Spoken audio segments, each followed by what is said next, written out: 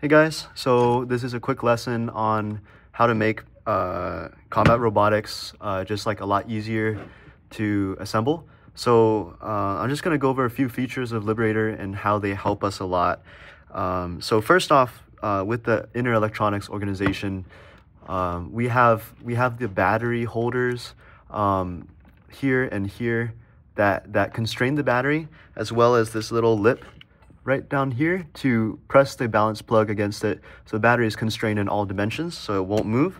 Um, so we know it's like that. And then, uh, for example, we have these standoffs too that are inset into the TPU chassis. So then um, we know that they'll be in that same place.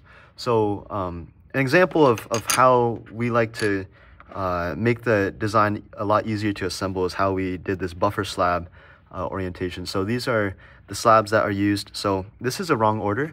And as you can see, as I'm trying to put it in, it won't go in straight. Uh, it's a little bit crooked. So I need to put in this carbon fiber plate first. And you can see here that it slots into place.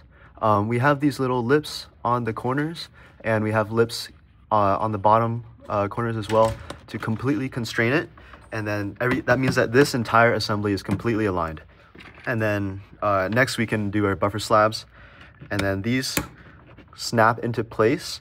And once they're snapped into place, they literally cannot move anywhere.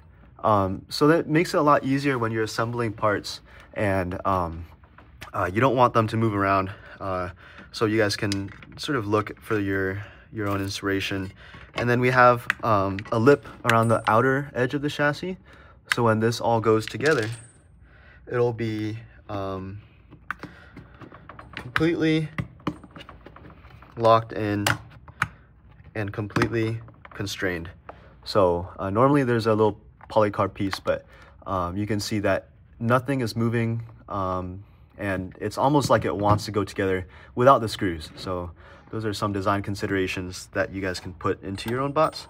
And then we have the weapon here and it just goes right there with the gears. All right, peace.